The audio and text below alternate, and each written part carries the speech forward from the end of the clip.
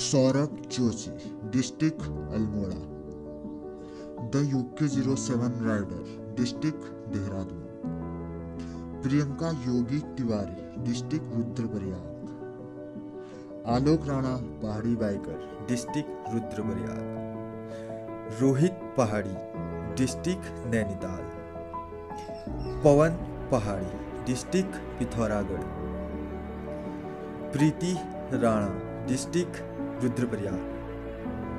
कुल पहाड़ी डिस्ट्रिक्ट रुद्रप्रयाग।